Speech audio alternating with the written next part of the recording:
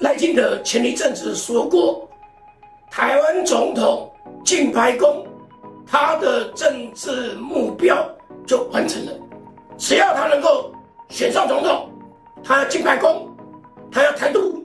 难怪这几天美国华府相关的媒体就报道的，说美国高层关切赖清德会不会变成陈水扁第二，这是美国所担心的。美国对台湾的政治人物，他的要求就是 no surprise，不可以给这个美国有些惊讶。赖清德不要变成陈水扁第二。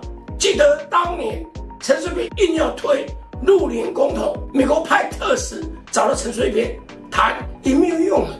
所以那时候的美国总统小布希啊，就骂了美式的三字经呢，骂陈水扁多丢人啊！美国就是怕现在的赖清德等于过去的陈水扁，或者是变成陈水扁二点零。不要忘了。